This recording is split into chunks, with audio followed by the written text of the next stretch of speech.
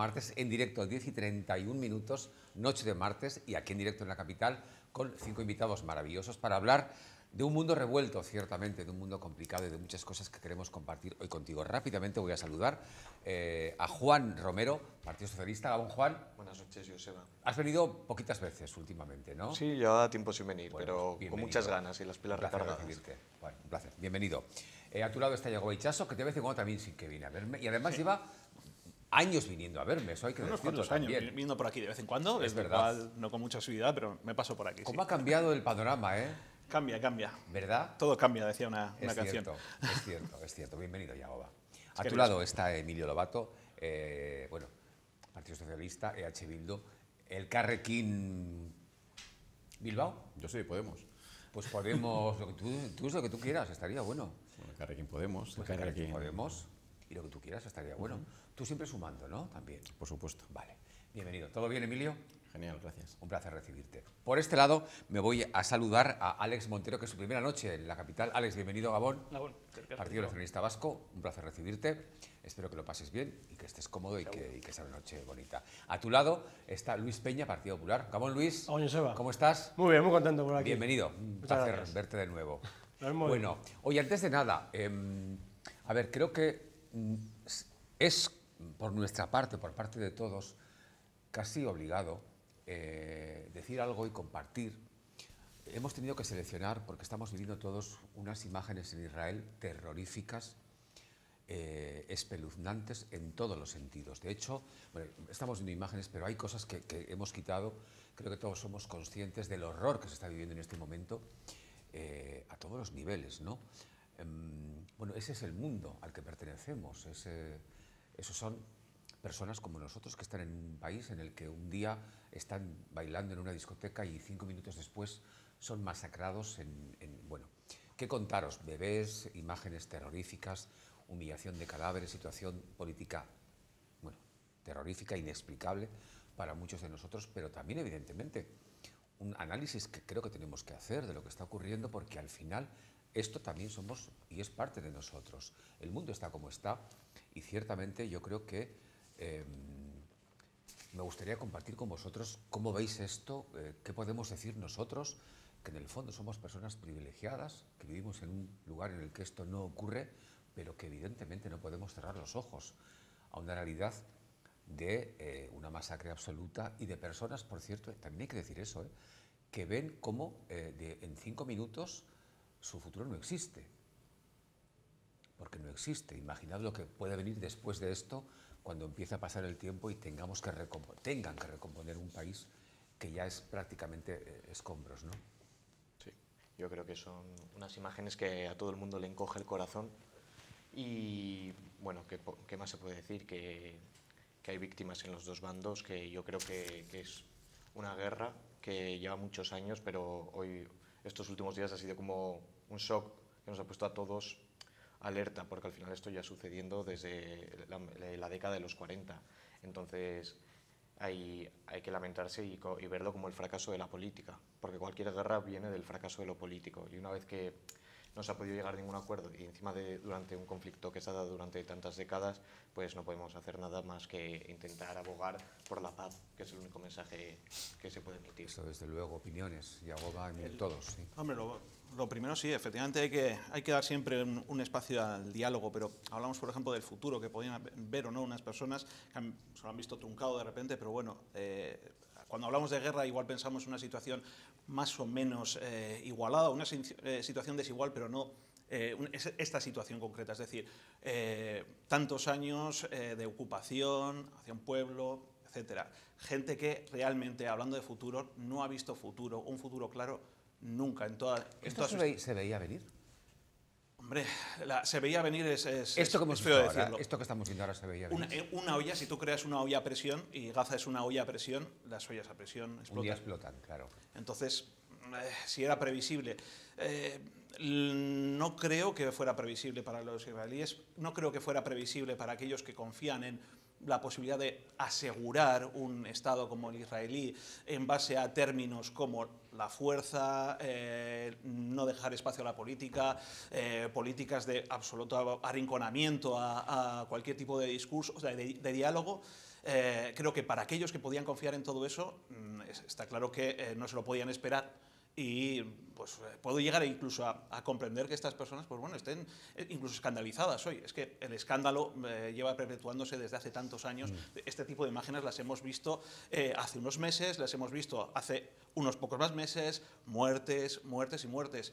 Pocas veces las vemos en, en los telediarios cuando unas muertes valen más que, más, que otras en Occidente, eh, nos encontramos eso, que, cobra eh, un protagonismo especial, pero la realidad es esa, que esto lleva ocurriendo pues eh, sin parar desde hace muchísimos años. Fíjate, Jehová, y todos, ¿no? ¿Qué, guarda un ser humano dentro de sí para, además de la guerra? Imágenes de la guerra hemos visto muchas, ¿no? Pero cuando vemos imágenes ya que pasan por la humillación de cadáveres, por los niños, por las mujeres, es decir, ¿qué guarda un ser humano dentro para además de eh, enfrentarse a o, matar, es decir, llegar a esos extremos en donde ya la condición humana eh, explora sus más lo peor del, ser humano, ¿no? Quiero decir, son sensaciones ya humillantes a niveles extremos, ¿no? ya el, odio, o no, sé si llamarlo odio, o el rencor, o, la sensación personal de que no es, no es suficiente matar. Sí, yo Después de matar hay que todavía eh, humillar más, ¿no? Para mí un poco lo que ha hecho eso es hay un, como un, conjunto, un común factor común de todo lo que ha habido, ¿no? O sea, la guerra, digamos, la guerra de, de, de Gaza, la guerra de Ucrania, la guerra, las guerras mundiales, la guerra de todo es el odio. Todo es esa, eh, esa, digamos, sentimiento, esa olla presión que ha habido de ese odio de decir que quiero ya salir, quiero ser libre, quiero ser libre. Al final esta gente ha vivido siempre pues encerrado, ya sea, digo, hablando no solamente de Gaza, yo, estoy hablando de, digamos, de la historia en general. Porque claro, esto que, que estamos viviendo aquí ahora mismo también pasó en los campos de exterminio judíos del holocausto, ahí en, Auschwitz, y también ha pasado en Ucrania en, eh, en los últimos, el último año. Entonces, no podemos olvidar que al final siempre, un poco lo que ha hecho mi compañero del Partido Socialista, siempre hay que hablar, siempre hay que dialogar y llegar a un acuerdo. Y en el caso de que no se consiga, siempre hay que intentar evitar por todos los modos la violencia, porque al final la violencia lo único que va a llevar es que haya ira y odio y que luego esa cicatriz que quede, porque siempre va a quedar una cicatriz, nunca se va a terminar de curar y además va a tener una repercusión social, económica y laboral para todas las futuras generaciones que no han hecho nada, o sea, que no ni han provocado ni han sufrido, pero que no van a poder tener ni un futuro ni una vida que se merecen. Bueno, y, quizás volviendo al caso concreto de, que estamos viviendo ahora mismo en lo que es eh, la guerra que se ha desatado ¿no? entre, pues, entre el Estado israelí y, y este grupo terrorista, eh, a mí lo que ahora mismo lo que, me preocupa y me preocupa mucho son los civiles que viven en Gaza. Eh, hemos escuchado unas declaraciones hoy mismo por parte de, la persona que tiene mayor poder militar en, lo que es el Estado israelí, eh, anunciando un futuro muy cercano, realmente preocupante. Dicen, bueno, ya han cortado el agua, han cortado la luz, han cortado los suministros de alimentos y estamos hablando de una población de, no sé si son dos millones y medio de personas viviendo en un territorio muy pequeño, 350 metros cuadrados, de los cuales más de un millón son niños menores que no tienen dónde ir. Se les ha cortado todos los accesos, o sea, todos los accesos, no, todas las salidas para poder escapar de esta, de esta gran jaula que ha creado ahora mismo Israel y la situación es preocupante porque si vemos un poquitín lo que es la historia de este conflicto, que se remota, como, habéis comentado, a, los años 40, vemos cómo el Estado israelí poco a poco ha ido ganando terreno al pueblo palestino y poco a poco los ha ido mm, reduciendo su, su, propio país, eh, colonizando poco a poco eso, ese, el, Estado palestino y me preocupa realmente saber qué es lo que tienen en la cabeza eh, los dirigentes del Estado palestino en cuanto a cuál va a ser el futuro del pueblo palestino. Eh, es que fíjate, Emilio, eh, estas imágenes que son de, hoy, de ayer, de, antes de ayer, ¿vale? Pero claro, esto necesita de una reconstrucción, de un futuro que ahora mismo yo entiendo que es inexistente. El presente real de estas personas, como tú bien dices, claro, sin luz, sin agua, sin comida, en un mundo en el que la realidad es que ellos viven o no. Es, esto es otra forma de matar.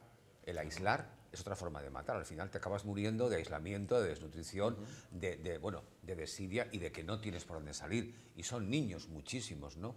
Quiero decir, la población civil, como bien dices, es una población que esto no se lo podía imaginar en absoluto esta masacre, esta humillación. el bloqueo no es de hoy. Eh, estos bombardeos estuvieron sufriéndolos hace unos meses. Eh, tal vez eh, yo qué sé, la virulencia en este caso ha sido mayor, pero... Ha sido extrema, Pero este aquellos que murieron hace unos meses no, no, pensarían lo mismo, es decir, y menos eh, sus familiares, etcétera. Es decir, llevan sufriendo esto de forma continuada desde hace muchos años. Eh, y el, lo dicho, el bloqueo es desde hace mucho. Eh, puede que hoy hayan bombardeado el paso, de o sea, el paso a Egipto, lo han bombardeado el mismo cuando les están diciendo que tenían que salir del país, pero es que cerrado... Egipto cerrado las fronteras. Sí, pero es que Egipto lo llevaba, llevaba meses con ese, con ese paso cerrado, por lo tanto, el, el, el bloqueo que tiene, la, no posibilidad de, realizar comercio, la no posibilidad de... No tienen materiales de, construcción, pero no los tenían ayer, ni anteayer, ni hace un mes, ni hace dos meses. Es decir, lo que están es eh, mm, eh, haciendo un solar de una, una de las zonas más densamente pobladas del mundo, esa es la realidad en, Gaza y lo están haciendo, pues bueno, a la vista de la comunidad internacional, que no está haciendo absolutamente nada en este caso. me voy a Alex, claro, que es que aquí estamos hablando de algo que no viene de antes de ayer, ni muchísimo menos. ¿Y cuántas veces aquí hemos hablado? No se pasa con Ucrania, exactamente lo mismo. Dijimos, vale, esto explota hoy, pero es que ya hace mucho que saben lo que iba a pasar y nadie hizo nada. Y en muchos casos nadie sigue sin hacer nada tampoco. Ahí la hipocresía de Europa, por ejemplo, fue, fue un horror sigue siendo un horror con, con, con, estas guerras. No, perdóname, Alex. Sí, creo precisamente que justo acabamos de dar en el clavo ahora mismo, que es qué podemos hacer desde Occidente, qué pueden hacer las organizaciones internacionales. Pues creo que efectivamente Europa, ahora mismo, desde la Unión Europea, lo que tenemos que hacer es articular precisamente un frente unido y coordinarnos de cierta forma para ayudar a esta gente que está sufriendo una guerra. Y hablábamos antes de violaciones, de mutilaciones de cuerpos. No hay que olvidar que es uno, una de las características de las guerras totales. Se vio en las guerras yugoslavas, se ha visto en la Segunda Guerra Mundial, y las imágenes que estábamos viendo ahora a mí me recuerdan, no sé si a vosotros, imagino que también, a Siria. Está exactamente la franja de Gaza igual que Siria. Problema, hay que reconstruirlo. ¿Cómo? No lo sabemos. Eso es lo que tenemos que pensar ahora. Bueno, antes que reconstruirlo, igual hay que evitar que se siga destruyendo. Y es, un, y es un recorrido que hemos dicho que esto ya lleva años. La comunidad internacional de la que estamos hablando, eh, yo creo que podía haber hecho muchísimo más de lo que ha hecho. El pueblo palestino está reclamando sus derechos, yo creo, a tener un territorio propio y a poder vivir en paz en él desde hace muchísimo tiempo. Pero ¿a quién reclama el pueblo palestino? ¿A quién? Eh, sobre todo a la comunidad internacional en este momento. Eh, ya, ven que no, es, no pueden eh, apelar a Israel en ningún sentido. También dependen de Israel, es decir, para que, les hagan llegar los suministros, etcétera, etcétera. tienen una, una, independencia bastante, bastante grande. La pregunta es, efectivamente, ¿qué es lo que se puede hacer? ¿Qué es lo que, en este caso, estar de brazos cruzados, tantos estados, y hay una realidad, muchísimos estados están diciendo unas cosas sus mandatarios, no voy a decir exactamente quiénes, que no tiene absolutamente nada que ver con lo que opina su población. Absolutamente nada que ver. En este caso, yo creo que la mayoría estamos con, Palestina. En este, bueno, es que es muy obvio, o sea, están siendo masacrados. ¿Quién no va a tener ese mínimo de empatía? La, pregunta es, en este caso, ¿qué es lo que le pediríamos a los mandatarios? Que, que bloqueen ellos a Israel, que dejen de comprarles armas, que dejen de, realizar comercio con Israel, que le hagan un boicot real, que les hagan eh, daño a Israel para que dejen de hacer lo que hacen y que ocupen con la, ocupación. No, pero en este caso estamos viendo un, caso muy especial, ya lo vemos. Yo creo que estamos haciendo un seguidismo a Estados Unidos en tantas cosas que es una locura. Nos estamos metiendo en problemas en, eh, la propia Europa, en el caso de Ucrania, etcétera, por hacer eh, seguidismo a Estados Unidos, ya no digamos en cuestiones como estas en las que Europa podía tener una pues, algo acorde con su población, es decir, con las opiniones de su población, realizamos un seguidismo automático a las opiniones de Estados Unidos. Pero tú no crees, no creéis que Europa está otra cosa en este momento. Bueno, no sé si está otra cosa no, pero sí que se están haciendo muchas veces. A ver, Europa está en, mira, Europa está en otra historia. Europa, esto, a ver, esto, todos, hacen todas declaraciones, pero realmente Europa lleva un tiempo ya en otro mundo. Europa está en su, en su propio libro ese, libro también es tener a Israel en Eurovisión, eh, ese libro también es realizar negocios continuos con ellos, es eh, que me hables de Eurovisión, ¿Qué, está pasando? ¿Está cambiando el mundo? Que me hable... era, un ejemplo como otro cualquiera a nivel cultural, pero bueno, es, realizar invitaciones continuas a Israel en el, desde el mundo cultural, deportivo, etcétera. Es decir, esa es la situación de Europa con Israel. ¿Debería de cambiar? Si es a partir de ahora, de este día, ojalá, es cuando está Netanyahu diciendo que les va a tratar como animales a, los palestinos, yo creo que sería un buen momento. Hay una cosa, además, hay una cosa además que es, que, o sea, que es muy significativa de ver cómo se posiciona la, eh, digamos, el primer mundo, ¿no? O sea, cómo se, ha posicionado Europa, cómo se ha posicionado Estados Unidos. Cuando ha habido una, eh, el ataque de, de, este, de este grupo terrorista a Israel, se han posicionado todos, eh, y más es lógico, y eso es totalmente entendible, toda la comunidad internacional ha condenado esos ataques, obvio. Y han puesto, por ejemplo, en Francia la, Torre Eiffel, eh, la bandera de, Eso es muy estético. Pero ahora vamos a ver qué pasa cuando Israel, porque va a contraatacar, ya está contraatacando al pueblo palestino, a ver cuántos mandatarios eh, europeos y norteamericanos salen a apoyar públicamente como han hecho a Israel, o por lo menos dar sus condolencias y apoyar o ir en contra de estos ataques, a ver cuándo se, se, posicionan en contra de los ataques realmente de esa manera. La comunidad israelí es muy, muy potente y muy importante a nivel económico, por ejemplo, en Estados Unidos. Biden ha hecho unas palabras, ha hecho unas declaraciones que yo creo que están fuera de sentido, o sea, eh, que van a apoyar totalmente a Israel para defenderse, decía. Ya veremos si no es, si no es también para atacar al pueblo palestino. Las declaraciones de algunos líderes son en, ocasiones un poco vergonzantes, incluso. ¿eh? Quiero decir, la hipocresía es evidente y luego eh, el, el, discurso, el doble, doble, triple discurso de quien condena, pero luego mm, no hace nada, nunca ha hecho nada tampoco. Eh, bueno, pero ese es el mundo en el que nos toca vivir, ¿no? De hecho, estamos en una que vamos directamente, si os parece bien, en un momento en el que los discursos de los líderes políticos, yo estoy negro porque no sé si puedo quitarme el traje de elecciones, el de la amnistía, el del referéndum, ¿cuál me pongo? A ver, vosotros que lo sabéis todo, eh, estamos asistiendo de nuevo a una posible o no investidura de Sánchez ante un panorama evidentemente complicado. Eh, por fin el presidente te lo tengo que decir directamente, eh, Juan, dijo lo de la amnistía, palabra prohibida y vetada, era como un santo santorum, lo dijo ya, y entendemos todos que algo ya está prácticamente hecho, o no, no lo sé. Pero es verdad. Eh, a ver, Feijó quiere repetir las elecciones, Luis. Pues sí. A ver si gana, ¿no? Tanto hemos ganado. Tanto bueno, en julio ganamos las elecciones. Pero él quiere ganar todavía más.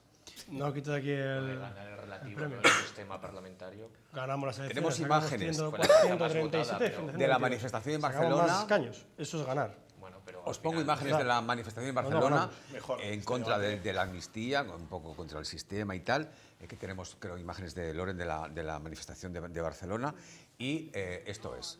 Em, bueno, pues ahí está. Eh, muchísima persona. Yo es que he leído entre 50.000 y 300.000. Hombre, ni tanto ni tan calvo, ¿no? Digo, ¿qué decir? Ni 3 ni 3 millones. Pero bueno, estas cifras bailan mucho siempre, ¿no? En fin, personas que en su derecho absoluto deciden eh, manifestarse por lo que no están de acuerdo. Y vamos a ver imágenes de Bilbao, porque en Bilbao tenido lugar una manifestación en la que el Arenal eh, ha sido ocupado por personas para mostrar su apoyo al pueblo de Palestina. Eh, señalar el Estado de Israel como asesino y a Europa como su patrocinador, al mismo tiempo que también hablar un poco de todo lo que tiene que ver con la amnistía, el referéndum y todo esto. Esto es en Bilbao, en el Arenal. Em, en definitiva, os pregunto a los cinco, ¿en qué momento estamos? ¿Va a haber repetición electoral? ¿La amnistía es un hecho real? referéndum entiendo que no. Ha dicho Otegui que no va a haber referéndum, que creo que lo que dice Otegui en ese sentido es bastante em, bueno, hay que tenerlo muy en cuenta. Y yo os pregunto a todos, eh, a ti mismo, por ejemplo, ya que vienes la primera vez, pues entras en caliente. yo creo que lo que tenemos que hacer es tender puentes. Tender puentes. Evidentemente hay un problema de convivencia en Cataluña y el que lo quiera negar, pues lo siento mucho, pero no conoce la realidad. ¿Un problema de Cataluña o del país? Hay un problema en general con Cataluña. A lo mejor en el año 2017 las cosas no se hicieron de forma correcta, porque se hizo todo muy apresurado, se hizo al margen de la ley, evidentemente así no se pueden hacer las cosas. Pero de ahí a encarcelar a líderes políticos que lo único que han querido ha sido poner una urna para votar, me parece lamentable. Efectivamente, desde el Partido Nacionalista Vasco estamos a favor de la amnistía de los presos y habrá que negociar ahora. Luis. Yo te voy a decir una cosa. A margen de la ley no se hizo nada, porque tenemos un artículo constitucional, 155. Eso es legalidad total, plena y dura. Segundo, hicieron un delito que se llama la sedición. Es un delito que está penado.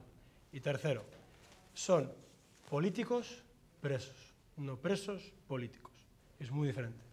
Son gente que quería hacer un delito, que quería hacer una declaración unetal de la independencia, que por cierto duró 50 o 47 segundos, y acabó con uno de ellos, el líder, fuera, en Waterloo, allí, en Bruselas. Mientras que el resto se tuvieron que tragar todo y estuvieron aquí. Ese es un cobarde. Y el resto, al menos, dijeron, voy a pechugar con lo que he hecho, he fallado, he cometido un delito y me quedo. Y fue una prisión. En este avance, en esa evolución, algo habrá que hacer. Sí, Entiendo yo que habrá que llegar, entre todos, a una forma de entender que no podemos estar toda la vida pendiente de una investidura, de unas elecciones o de un presidente que esté en funciones, ¿no? Precisamente Algo habrá que hacer. Sí, sí. No, es que no, podemos, no podemos estar así. Efectivamente. Lo que necesitamos es tender puentes entre tanto España como Cataluña, también con Euskadi, porque evidentemente aquí también tenemos un problema de territorialidad y hay que solucionarlos. Y en, este, en esta dicotomía que hablábamos antes de la investidura, pues precisamente con Feijóo yo no creo que eso se pueda resolver. Lo único que podemos echar es más leña al fuego. Que está Juan Romero, que es Juan, en funciones hoy. Eh, bueno, como el presidente. Sí, sí. Confiemos en que, ¿no? que lleguemos a un acuerdo con todas las fuerzas políticas. ¿Tú crees que sí? Yo creo que... Habrá investidura, habrá presidente. Yo creo que sí, que se va a renovar el gobierno progresista. Hay que llegar a pactos, eso está claro, porque al final no solo es pactar con Sumar, no solo pactar con el PNV, no solo pactar con más partidos. O sea, yo creo que es un camino, que es una tarea muy difícil, pero que si caminamos todos conjuntamente y entendemos que queremos un futuro de progreso y de convivencia social entre, todo, entre todas las comunidades autónomas, porque yo estoy con el compañero del PNV en el sentido de que no podemos negar que hasta que llegó el gobierno progresista en Cataluña había un problema, había un problema social y había un problema político. Y a los problemas políticos y sociales hay que darles respuestas políticas.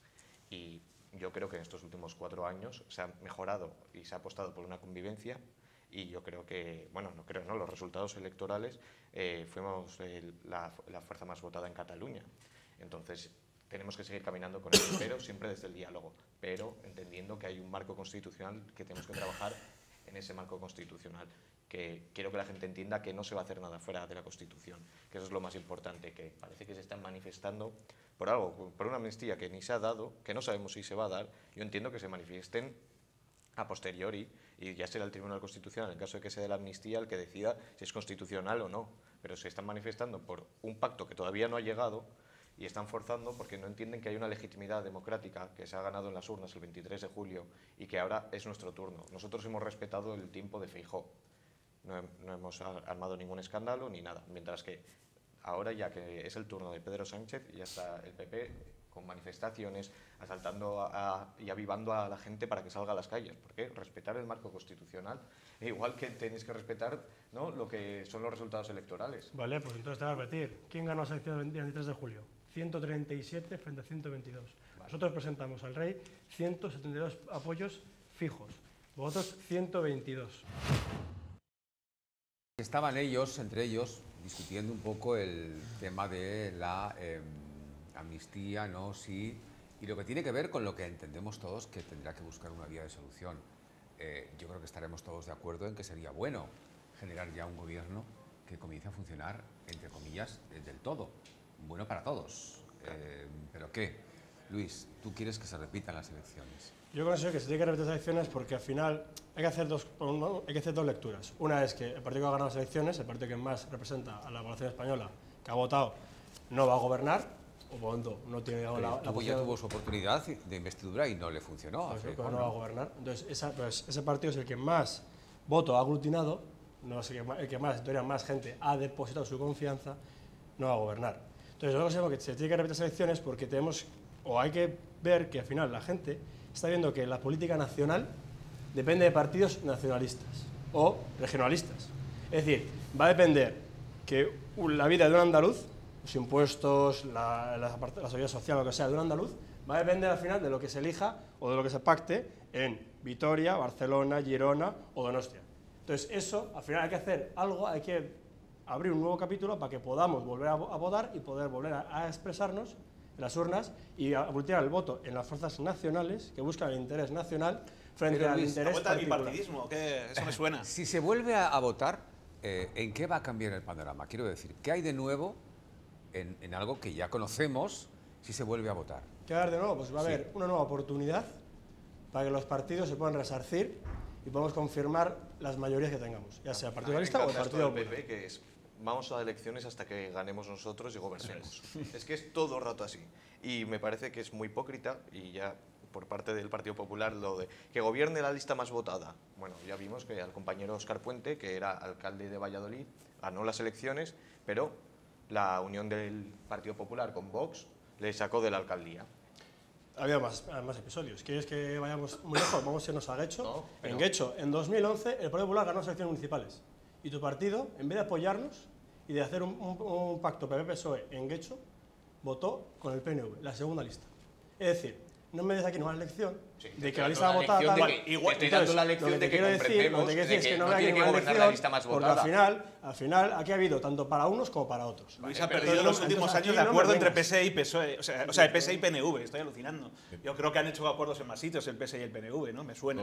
Creo que en, en todo Yo pongo el ejemplo, el ejemplo que, ha habido tanto su partido como mi partido. Pero que poner ejemplos, pues podías ver, podías poner cuando les habéis dado la alcaldía de Gasteiz al PSE junto con el PNV. Claro, porque también la Diputación hablar, por ejemplo, de Andalucía pues abajo de Andalucía, cuando ganó Señor Arena las elecciones autonómicas, y también pactó el Partido Socialista con el Partido de Unidas Podemos. Entonces estamos todos de acuerdo. El, el, sacar más, eh, más votos que los demás, el ser el partido que más votos saca, no es lo mismo que tener la alcaldía, tener la presidencia. Pero hay una cosa que no tengo clara, ¿no? Se llama democracia parlamentaria. Pero hay una cosa que no tengo es lo que se ha conformado. Tenido, estoy de acuerdo, pero bueno. Habéis tenido incluso se, llama, se llama más lo de y tú más.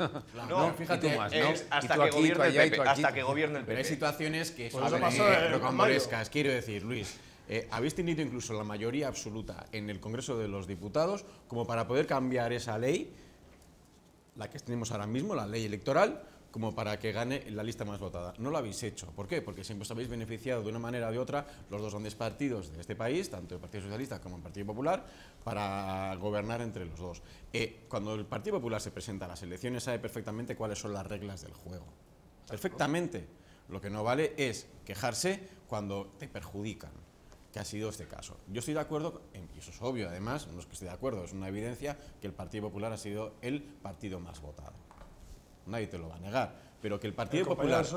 pero que, no, es el partido más votado. Más votado es obvio, pero que el Partido Popular ha ganado las elecciones, eso es una frase que es falsa.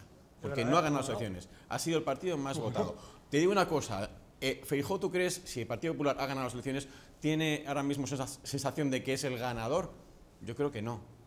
Yo creo que no, ni nadie en el Partido Popular. Una cosa es que tengáis ese debate de cara al público, en un debate de televisión y, de, cara a, vuestros mítines, y otra que realmente os sintáis ganadores. Sabéis que no habéis sido los ganadores, de momento por lo menos, ya veremos si el Partido Socialista es ganador de las elecciones. Eso está por ver. Volviendo al tema del debate que, si me permites, de, de, la posible, de los posibles indultos y de las amnistías y demás.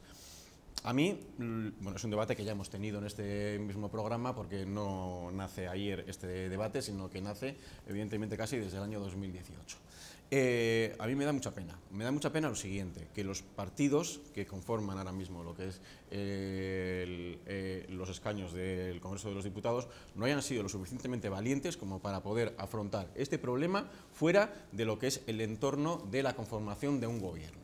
Yo creo que este debate se tenía que haber dado hace ya mucho tiempo, porque hay muchos partidos que estamos de acuerdo, lo ha comentado además el, representante del, PNV, en que los problemas políticos tienen que, que solucionarse desde el punto de vista político. Tenemos una ley que estaba hecha para otro tipo de situaciones y que se ha aplicado en el proceso de la votación que tuvimos en su momento en Cataluña. Se aplicó de manera incorrecta. Lo que tenemos ya lo sabemos. Sí, pero, es que, pasa? estamos trasladando... y, en el 2023 eso no ha funcionado. Sí, pero estamos trasladando a la, a, la, sociedad ahora mismo la sensación de que estamos cambiando cromos para conformar un gobierno. Y eso se podía haber evitado si hubiésemos sido lo suficientemente valientes.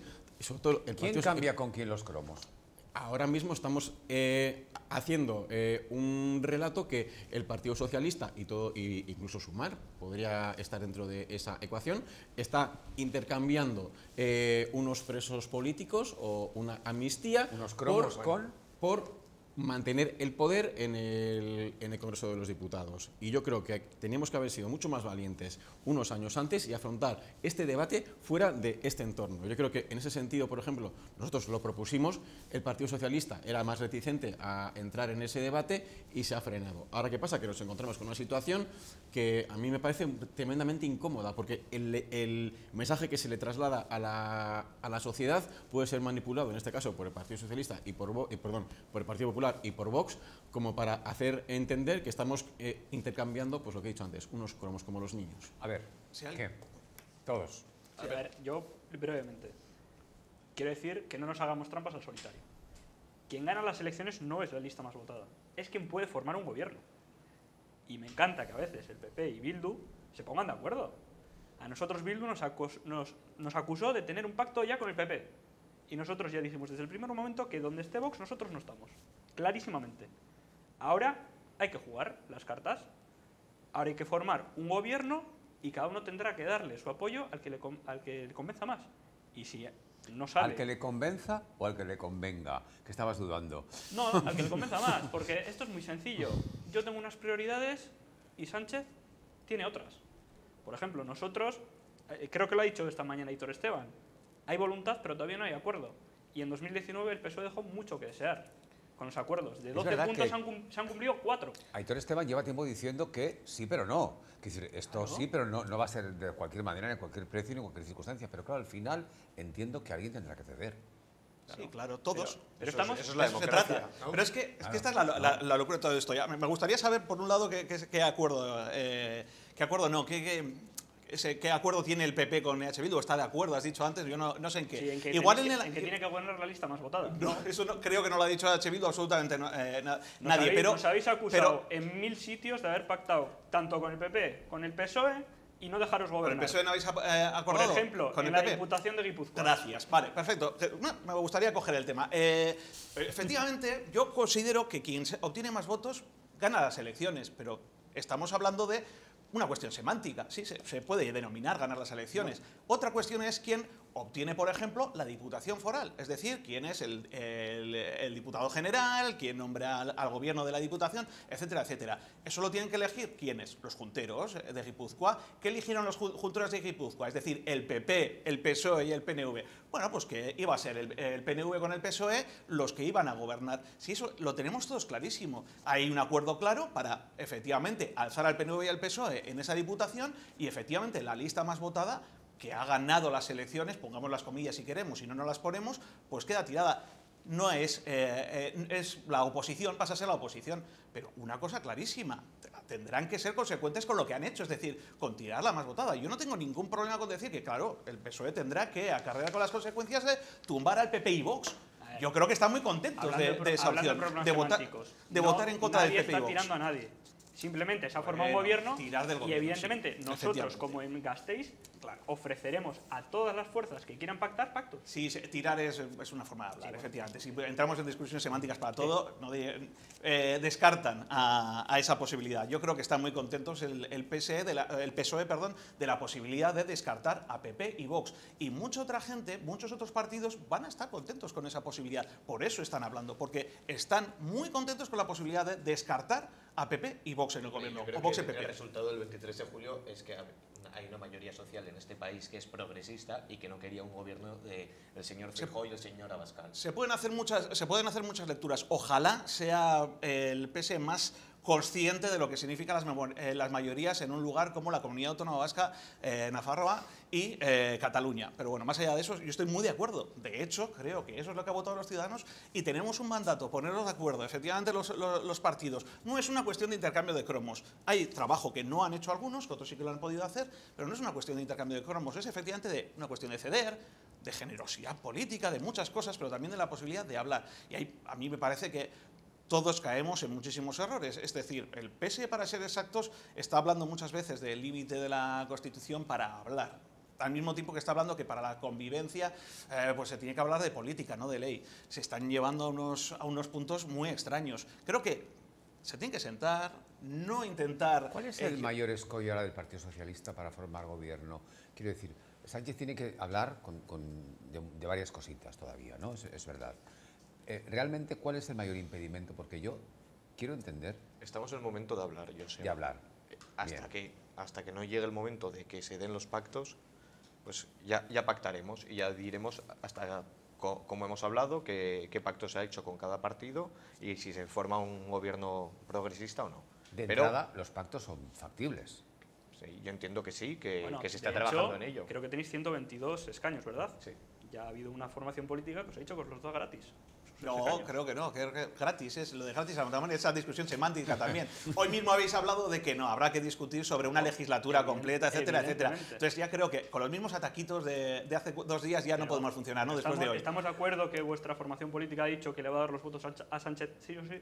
Para, sí, efectivamente, por, supuesto, lo de, lo de, gratis es que, sobra muchísimo. Es que se nos lleva 40 años acusando de que íbamos a Madrid a por un plato de lentejas. Pues hombre, pues a por el plato de lentejas vamos, pero esperemos volver con las lentejas no solo con el plato. Sí, claro, es que depende para quiénes sean las lentejas, si son para todos y todas o no. Porque también si queremos valorar de, dónde salen las, las, políticas de la anterior legislatura y en aquellas en las que, yo qué sé, las, las formaciones de, de, soberanistas de izquierda han votado que sí, yo creo que han sido muy positivas para el común de los mortales en el Estado español y aquellas en las que, y, precisamente en todas ellas el PP ha votado que no por mucho que la también Yo creo Feijó dijera ciertas, que no, ¿sabes por qué cosas Porque mucha gente que ha votado a favor de vuestras, de vuestras ideas era la ley del solo sí es sí. Y es una ley que eso ha traído problemas. y esa ley el PP votó en contra. Por ejemplo, te pongo ejemplo más sencillo. La ley 3 la ley de la vivienda. Te pongo más ejemplos. Esas tres son las leyes claves que han hecho que haya polémicas en todo, el, en todo el país. En todo el país. Y tu partido ha votado tanto a favor en la ley del solo sí sí, que trajo tanta polémica, tanto más que aquí ahora lo abordamos en el 8M, como votó en contra de la reforma que mi partido propuso para que ese, ese fallo que tuvo esa ley fuese corregido. Votaste en aumentado el sueldo mínimo, todos los escudos sociales, todo eso, todo eso, todo eso, todo, eso, cabo, todo eso, todo eso, tú estás diciendo, ha, crecido, el, ha crecido un 8,5, ha crecido un 8,5 y la inflación un 10%, por tanto han perdido un 1,5. Eso es perder. Fíjate, eso es fíjate, eso es votar en contra de las pérdidas. Por otro lado, cosa, los ERE, los ERE viene de la, manera, viene de la mano de Rajoy del 2012, viene de la crisis del 2012. Entonces aquí nos quieres poner aquí una medallita de traidores, no, es más de gente que vio una necesidad y creó los SERE. Ahí está. Lo trajo, lo trajo, lo trajo, en tiempos del COVID, pero bueno, da igual. O sea, has marcado tres leyes, pues quien le preocupe tres leyes que han sido pues, las, grandes, famosas de esta legislatura. Eh, yo animaría también al Partido Popular a hacer una lectura de las elecciones en la Comunidad Autónoma Vasca, que es donde nos pueden estar escuchando. Y creo que también sus votos han ido en una, dirección. y creo que no les preocupa tanto. Os planteaba un poco a todos la percepción vuestra de la gente, el ciudadano, porque al final es verdad que a la, eh, vosotros sois personas privilegiadas, tenéis una información privilegiada, manejáis y estáis en círculos en donde se habla mucho de esto, pero luego la gente en su casa a veces no, no sé si está muy al tanto de lo que es realmente en qué consiste la amnistía, el referéndum, el no, el sí, quién gobierna, quién sí, no. Yo creo que Porque el, que gana no, no, no, gobierna. Eso, que la gente en su casa habrá quien diga, pero bueno, esto no lo entiendo.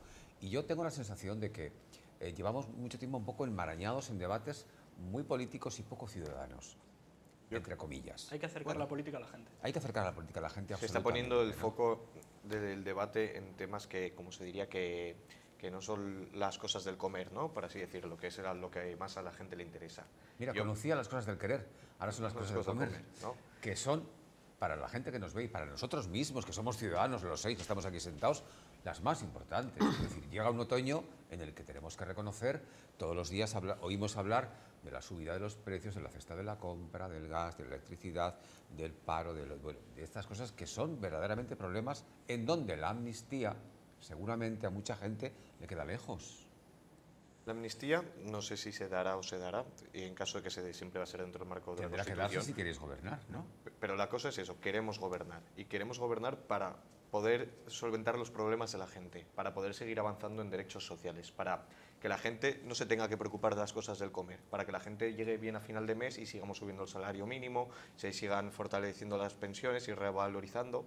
Pues eso es lo que ha anunciado el tema de las pensiones, por ejemplo, ¿no? Por ejemplo, eh, yo creo que son cuatro años que empezaba, hace cuatro años, si echamos la vista atrás, estábamos en la misma situación que ahora. Este gobierno no va a durar nada, se va a caer. En aquel momento el mayor problema era Podemos, ¿no? que parecía que se iba a tambalear porque Podemos iba a ejercer mucha presión. Bueno, cuatro años hemos aguantado. Eh, pues eso es lo que queremos, cuatro años más de seguir construyendo país y de seguir construyendo un futuro mejor a las generaciones futuras. Em, os planteaba y os decía antes, y creo que la gente que nos ve es consciente, eh, llevamos ya un tiempo anunciando las futuras huelgas que va a haber y llegan las fechas de algunas de estas huelgas. Eh, yo leí hace poco un artículo que hacía una pregunta que para mí era muy coherente e interesante de responder. ¿no? ¿Está el país para huelgas? Estamos en este momento para huelgas porque una huelga también tiene su factura, evidentemente. El derecho a la huelga es un derecho incuestionable y, desde luego, evidentemente, mm, indebatible. Pero tenemos fechas ya para huelgas en sectores públicos, enseñanza, la pública, la concertada, residencias, ambulancias, muchos sectores que tienen ya fecha para unas huelgas que, por cierto, tampoco son nuevas, tampoco son de ayer. Llevamos ya un tiempo escuchando y hablando de estas fechas. Eh, el Etaguer Urcullo, que estuvo aquí no hace mucho, eh, hablaba y decía que las huelgas eran y se utilizaban a veces para cargar las tintas contra el gobierno vasco, para eh, hacer sangre del gobierno vasco, en un momento en el que eh, estamos pendientes de la fecha electoral. Se habla hoy del 9 de junio, creo. Sí, porque coincide con las europeas. Bien, Igual no sabemos todavía quién, algunos candidatos ya se han perfilado eh, y estamos a la espera de lo que vaya a pasar con el resto. Bueno, claro, en todo este debate ¿no? electoral, de huelga, sin gobierno, en funciones, con guerra, con lo que está cayendo, hijas, ¿qué queréis que os diga? Bueno, hijas, hijos, ¿qué queréis que os diga? Mm, a ver, ¿qué? Las huelgas cosas del comer, ¿no? Las cosas de todos. Claro, pero es que es lo que pelea alguien que, tiene que ir a la huelga, porque no es el plato del gusto de nadie ir a la huelga. lo primero que, haces es perder dinero por ir a la huelga. Eso ya lo sabemos todos y todas. Por ir a la huelga, pues nadie está con unas ganas terribles.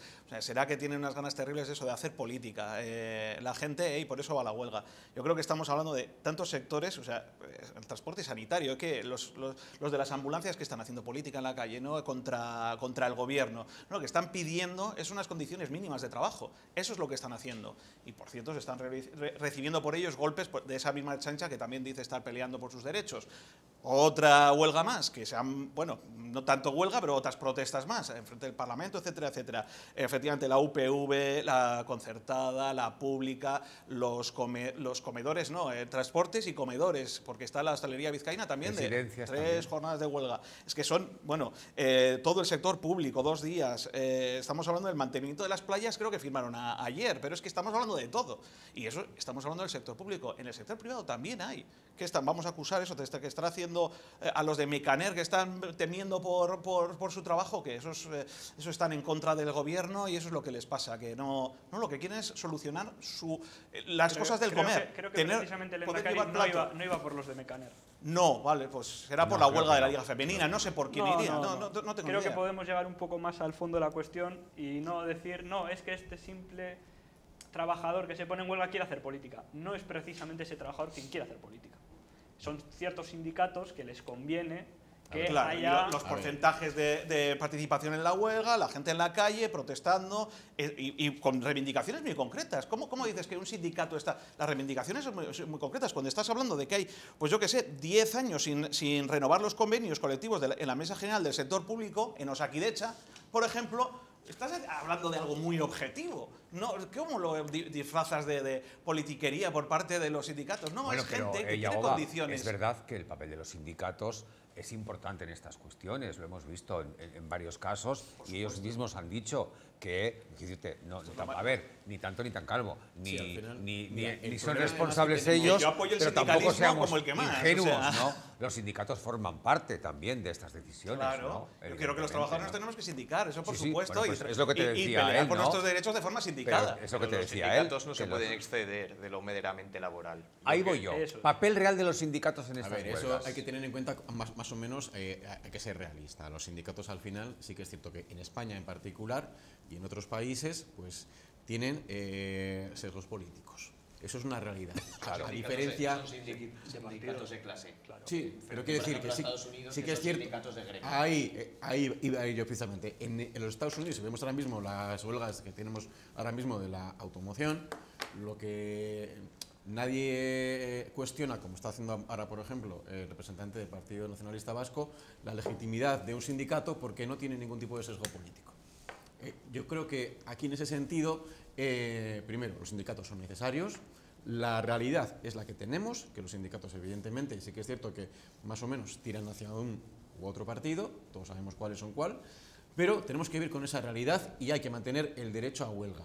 Ahora mismo estamos con esa realidad y hay una cosa que es importante, los colectivos no se levantan un día por la mañana y al día siguiente hay huelga.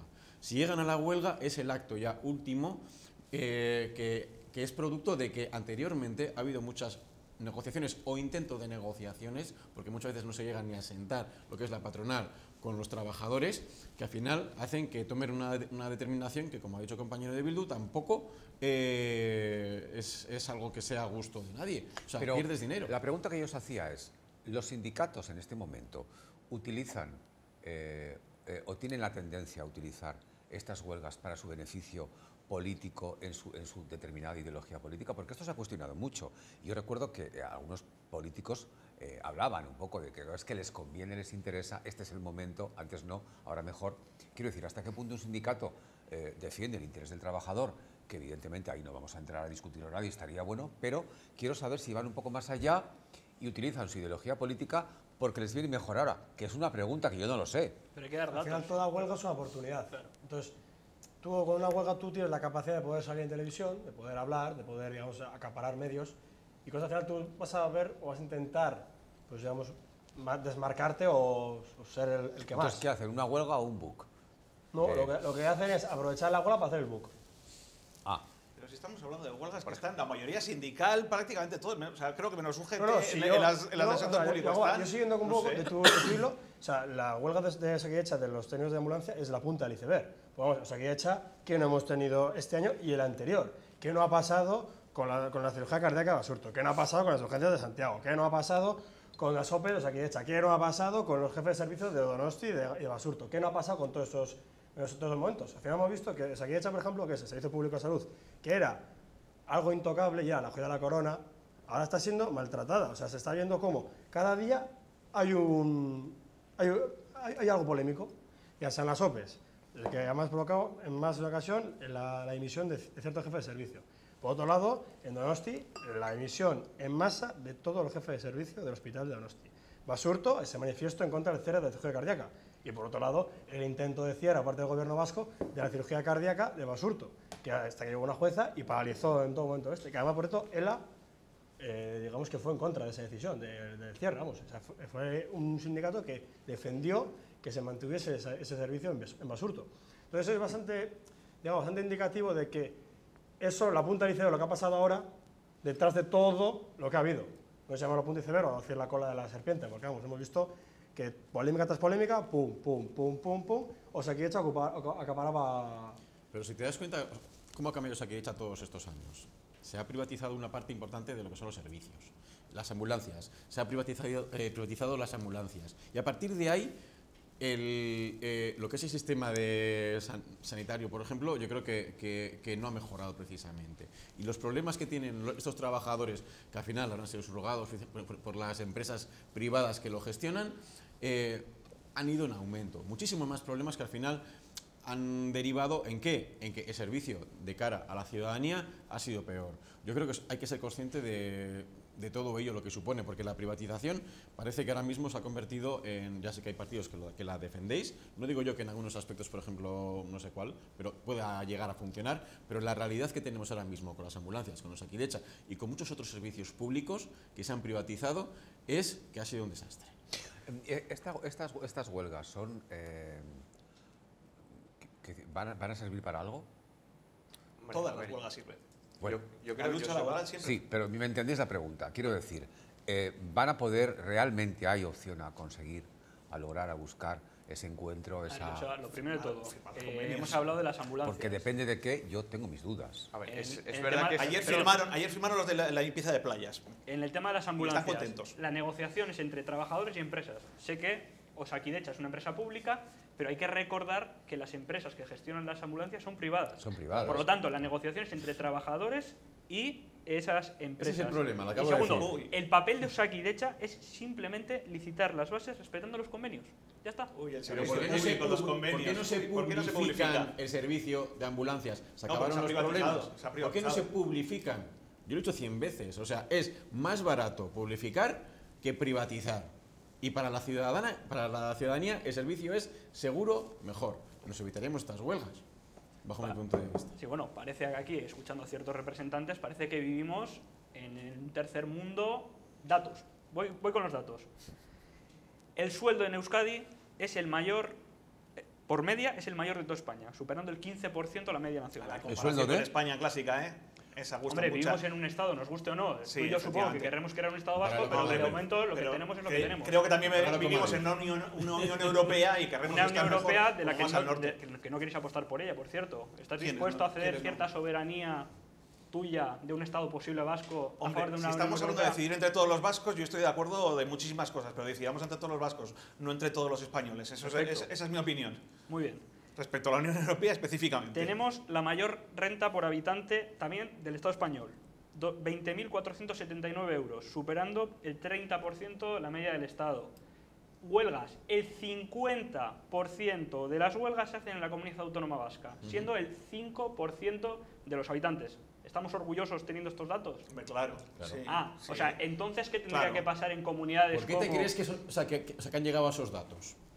Las mejoras de los convenios han pero hecho un instante, ese dato, y que probablemente... Perdóname, ese... ese hoy en día, datos que ya están ese, hoy Alex, en día. Alex, eh, por ese, ese dato quiere decir que la mitad de las huelgas de todo el país ocurren aquí. De todo el Estado ocurren en la Comunidad Autónoma Vasca. A ver, es, a ver te repito, igual precisamente porque la mitad de las huelgas son en, en, en Euskadi, se han conseguido unos derechos y unos niveles de sueldos superiores al resto de España. Pero de ese dato, ¿qué lectura hacéis? A ver, de que si cruzo la muga también tengo muchas huelgas y unas condiciones laborales mucho mejores que aquí. Eso es una realidad. Depende de qué muga cruces. Sí, estoy hablando de la, muga hacia el norte, la, muga de... tu, modelo es el, modelo francés que prohíbe el euskera... No, no, para nada, mi ah, modelo es el ah, francés. Te estoy hablando de una realidad. Una realidad que respecto a condiciones laborales y huelgas. Que me estás diciendo que tener eh, aquí todas las huelgas, la mitad de las huelgas que se hacen en el Estado, eso es, eso es terrible, eso es terrible. Y tener unas condiciones eh, mejores que en el Estado, eso, pues claro, ¿cómo se Estamos a favor del trabajo todos, ¿no? Sí. Hoy en día en Euskadi el 7,4 las personas, es la tasa de paro del 7,4, la más baja desde 2008. ¿Nos vamos a alegrar de eso o también vamos a ir cuando, a la huelga? Cuando la, cuando la, capacidad adquisitiva ha bajado bastante en la comunidad autónoma vasca, mm, eso ya es un poco más complicado. Eh, que es lo que os están pidiendo también eh, al, gobierno desde, bueno, creo que todos los huelguistas. Eh, esas las condiciones económicas. Juan, que la palabra. yo te iba a comentar que me hace gracia que el compañero del PNV y de H. Bildu, cuando estamos hablando de temas de huelgas y de realidades sociales que, de gente que tiene problemas, se ponen a hablar de de competencias, ¿no? de, de qué sería la, nación vasca y todo ello. Vamos a volver al mensaje. ¿Qué es lo no he oído esa conversación, pero me parece muy interesante. me gustaría verla también. No, pero me refiero, vamos a, a, cuál es la realidad que quiere la gente. Yo creo que hay que apostar por el diálogo social, pero no le tenemos que vender falsa, falsas verdades a, a la gente. Vamos a ver cuáles son los procedimientos reales y cuál es la, la realidad. Sí que es verdad que tú has comentado que hay, que hay unos convenios que muchas veces eh, lo que pasa es que las empresas nos echan la patata caliente a la, a la, administración pública cuando nosotros no podemos hacer nada porque hay unos procedimientos. Entonces tenemos que respetar esos procedimientos y lo que no pueden hacer ciertos sindicatos que se están eh, extralimitando al tema meramente laboral de culpabilizar para agitar un poco a ver, a ver qué pasa este año que viene en elecciones. ¿En qué se extralimitan? Hombre, yo creo que cuando, por ejemplo, se hay sindicatos que no han seguido esta huelga, como puede ser la UGT, porque la UGT mismo ha dicho que no ve como del todo serio esta huelga porque ve que hay temas políticos más allá que los temas meramente laborales, pues yo creo que algo quiere decir si un sindicato tan importante como la UGT no se suma a Un sindicato tan politizado como la UGT, efectivamente, sí, creo que, que queda bastante claro. Pero bueno, politizados, como hemos hablado, están todos los sindicatos. Vamos a ser, vamos a ser claros. ¿Con quién está ELA? ¿Con qué partido? ¿Cuál es el partido favorito de ELA? Como digas que sea el PNV, yo aquí me quedo. Ah, no, ¿verdad? Pues tampoco H. Bildu, ¿no? Pues entonces vamos a ser No, no, H. Bildu tiene el suyo, que es, Bueno, efectivamente, uno de los partidos Sortu tiene, tiene mucha relación con LAB. a ver, que yo, mi forma de ver el sindicalismo tiene que ver con prácticamente son, son gemelos. Que, bueno, no, no, Y te puedo hablar de casos muy concretos, incluso de peleas eh, eh, en ayuntamientos eh, gobernados por H. Bildu, o sea, llevadas adelante por LAB. Pero bueno, que más allá de, esa cuestión específica, es muy claro. Él quiere obtener objetivos políticos por mantenerse en esto. UGT por salirse parece, parece ser que sí, y es no dañar al PSE. A mí me parece bastante más obvio. Que comisiones obreras, que está ahí dentro con él en estas... ¿qué, qué, cuál es el beneficio político que les...? Es que me parece tan absurdo toda esta, esta posición de, desde el gobierno vasco, que es que es, vender eh, este rollo de socialismo o barbarie 2.0 con el tema de los sindicatos. Es muy extraño. No, yo no, no, veo el enganche que tiene. Es decir, como ciudadano no entiendo de qué forma lo se, se puede compartir. Porque no hay, una, no hay una explicación para todo esto. Eh, todas maneras, yo creo que hay que tener mucho cuidado. Un segundito que le responder por alusiones, que se dice tanto. Sí, nada, yo le iba a decir que... Y después Emilio. Yo creo que ya lo que he comentado, que sí que creo que hay una cuestión política de fondo, que la mayoría de sindicatos están muy cercanos a un poco a la, a la ideología de la izquierda a Berchales, sobre todo el AILAB, que no lo podemos negar, es una realidad. Y, y bueno... CGT y comisiones y la CRT. Bueno, pero por ejemplo, es que yo te he puesto el ejemplo del OGT, que a ver, yo todo el respeto. el puñito lo lleva bien claro en el logotipo, ¿no? todo, el respeto a los sindicatos de clase y a que la gente haga huelgas y luche por sus derechos. Es que yo creo que en eso estamos todos de acuerdo, nadie lo va a negar. Pero vamos a ser realistas y vamos a ver cuáles son los cambios reales que necesitan y cuál es el procedimiento que se tiene que llevar a cabo. Es que se está echando la culpa a la administración Mientras les acusáis de politizar, de estar en contra de vosotros para tumbaros... Yo creo que es evidente que hay ciertos sindicatos que están a favor de tumbar el gobierno vasco porque prefieren otro a Ver, de todas maneras, en, y, el, en el caso de que haya... duda que la prefiere que gobierne Bildu a que le haga una coalición que, que, que decís una personalidad del resto siempre, que está en comisiones, que está en la que en, en, en, las del sector público están todos los sindicatos menos la, OGT, prácticamente todos menos la OGT. Mira, el hecho de que haya un conflicto y que venga el gobierno diciendo que es que los sindicatos están siendo politizados y, y, y echar, digamos, la culpa a los sindicatos de esa movilización, suena un poco a suspender un examen, llegar a casa y decir, es que me tiene manía el profesor, ¿vale? Lo que hay que hacer es lo siguiente. suena más a eso. vamos a ver, tenemos un conflicto. Pues lo que hay que hacer es afrontarlo. En vez de decir tienen la culpa los sindicatos de que estén munición, es sentarse con los trabajadores. Y se han visto en multitud de ocasiones. Ha dicho el, representante de Bildu, Yagoba, el caso de Mecaner. Hemos tenido en Verango el caso de Alconza, en el que no había manera de sentarse tan siquiera con, con la dirección de, los, de, de, las fábricas para llegar a una solución. Quiero decir, ese tipo de situaciones existen y no hay que obviarlas. o sea, todas las instituciones que son competentes lo que tienen que hacer es velar por la seguridad del trabajo de todos los ciudadanos que hay en Euskadi en este caso y en mejorar sus condiciones laborales. En ese sentido hay que ser realista. No me vale el hecho de echar la culpa a sindicatos que están haciendo campaña para. Y aunque lo hagan, aunque lo hagan, la responsabilidad de las instituciones como tales es sentarse a afrontar esos, esas posibles demandas de mejora de, eh, laborales de la ciudadanía. Yo creo que es lo que tiene sentido. Entonces estamos de acuerdo que lo que buscan los sindicatos es mejorar la vida de la gente, ¿verdad? Deberían, sí. Deberían. Sobre todo los trabajadores, las eh, instituciones y los sindicatos. Perfecto. Me gusta eso el tema. Eh, ¿Qué os parece que la inversión pública en Euskadi sea de las top de Europa? Hay una cosa que, es, que, hace el PNV siempre en este programa. Cuando hablamos de debatir eh, conflictos o lo que sea, siempre nos venís con datos. Y, Hombre, y no, no, no, no, no, perdón, pero, pero, pero con los datos, además, los datos, como todo, se pueden manipular hacia un sitio o hacia otro. Correcto. Yo recuerdo, yo he estado, como sabéis, en la Junta Generales estos últimos cuatro años. He vivido de manera muy personal y directa todos los conflictos que ha habido con el transporte público. Y decíais, eh, el nivel de satisfacción de, en encuestas del transporte público es de, bueno, era casi sobresaliente, se salía casi de la tabla. La realidad era que los trabajadores que nos llegaban, tanto de, de, bueno, de todos los servicios públicos que hay en Vizcaya, eran quejas.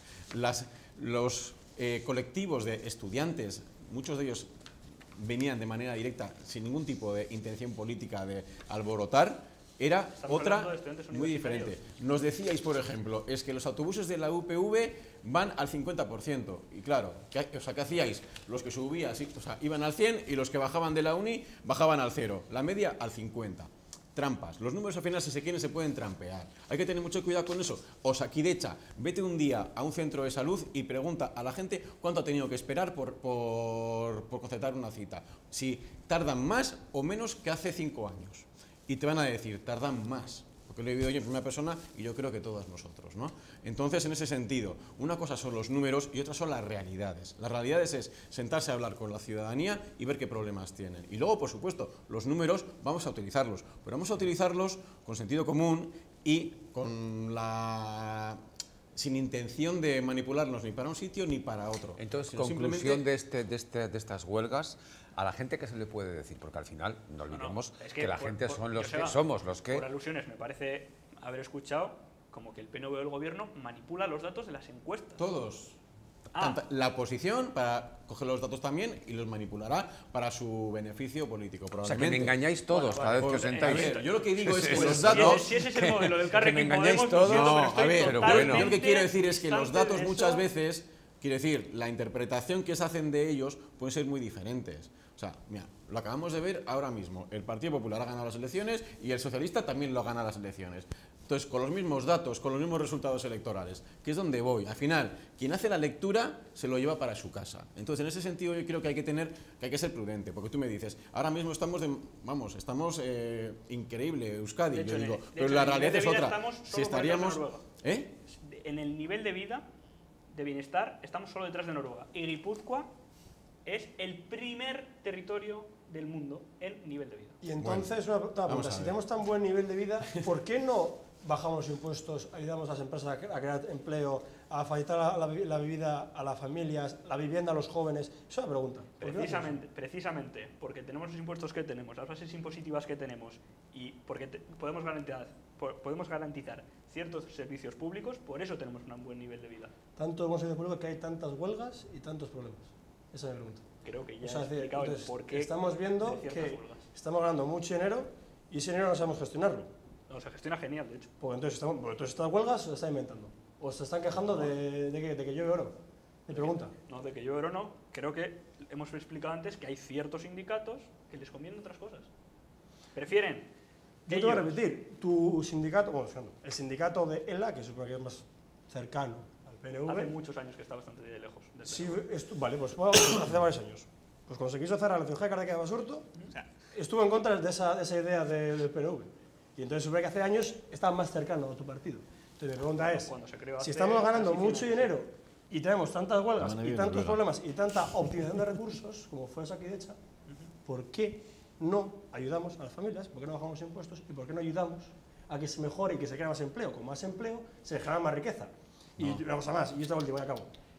Mi duda es, si tenemos la mayor renta per cápita, se nos ha ido BVA, se nos ha ido todas las empresas, la industria está capa caída no es Cataluña, no es Madrid, no es Sevilla, no es Andalucía, con la Valenciana, donde mayor ha habido mayor inversión, tanto capital público como extranjero.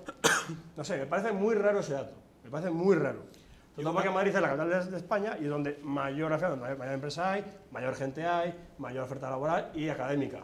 Pues digo que lo normal sería que donde mayor potencial humano, donde más riqueza va a haber. Por eso me sorprende ese dato, me parece bastante extraño.